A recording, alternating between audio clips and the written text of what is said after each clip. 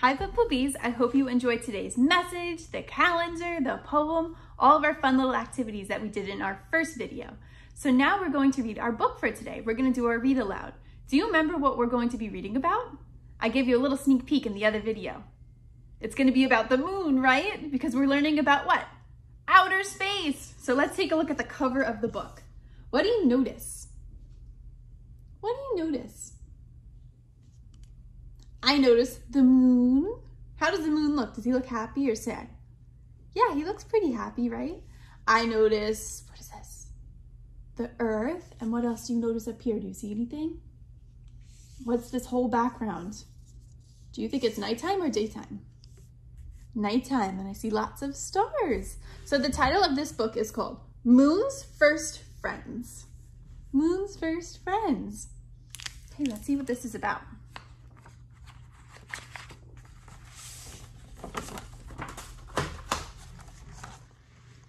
The moon was queen of the night sky. She was so bright that everything she touched glowed with silver light. But after many, many years had passed, she was lonely. If only someone would visit me, she said. Oh, she's feeling lonely. Can you show me what lonely feels like? Yeah, she's a little slouched over. She has a sad face. She's feeling lonely. Hello down there, she called to the lumbering dinosaurs. If you come up here, you won't feel so heavy. You'll feel lighter than air. But the dinosaurs stayed where they were. Why didn't they join her?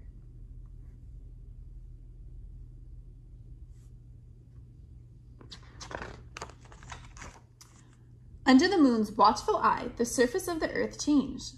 The moon saw glorious new creatures come and go. So these are the, all of the creatures. What kind of creatures do you see?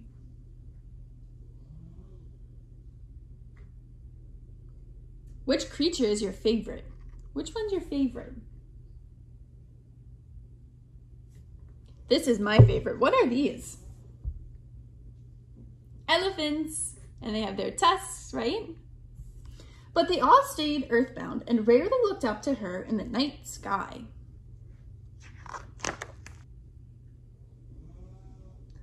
But then she saw something new. There are millions of stars for you up here, she offered. But the people stayed where they were. So what do you notice? There's lots of stars, right? And the stars created something. We're gonna learn about that today and maybe later in the week. Those have a special name. The moon watched as she circled and circled the earth. On the wide sweep of the hot Sahara, the Egyptians built some pyramids that towered towards the sky.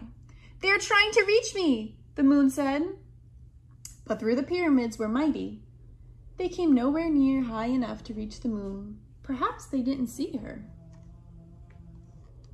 So is anyone visiting the moon yet? No, not yet. She spun and twirled from moon to moon to silver and pearl back again, showing off for the people below.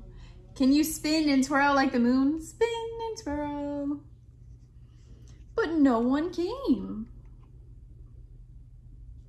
So what do you notice about the moon? There are some dark parts, right? So these are different phases of the moon because the moon changes all the time. So sometimes you might look up in the sky and the moon starts to look different each night because it changes to a different phase. So this is what it looks like each night. She watched as down on earth people came up with all kinds of ways to get from one place to another but they did not sail, or drive, or cycle, or float to the moon. Then on a windy day in North Carolina, the first airplane flew above a beach. You're doing great, encouraged the moon. You just need to fly a little higher. But the people on Earth only traveled to visit one another. Was it possible they didn't know she was there? Do you think the people don't know the moon's up there and that she's feeling all alone? At high noon, the moon slipped purposely between the earth and the sun, blocking all the daylight. Then she slid aside again, allowing the sun to shine through. No one could have missed that, she thought. But still, no one ventured away from the earth. Would she ever have a visitor? Do you think the moon will ever have a visitor? Thumbs up or thumbs down? Will anyone ever go visit her and cheer her up? Just when the moon was losing hope, people on Earth began to experiment with rockets, and the moon watched with great interest. But the humans still had a lot to learn. One day, Moon's hopes soared. A chimpanzee in Mercury capsule rocketed towards her. A visitor, at last! But alas, he returned to Earth without reaching her. So what does a rocket ship do? It goes where? All the way in the sky, right? But the rocket ship didn't reach the moon yet. And then one hot July day, a tremendous rocket ship stood up upon a launch pad with two small spaceships at the top. The countdown began. Okay, so the rocket ship is getting ready to blast off. Can you help me count down for the rocket ship to blast off? And then once we say blast off, you could act like a rocket ship and you could blast off. All right, can you help me? All right, let's count down. 10, 9, 8, 7, 6,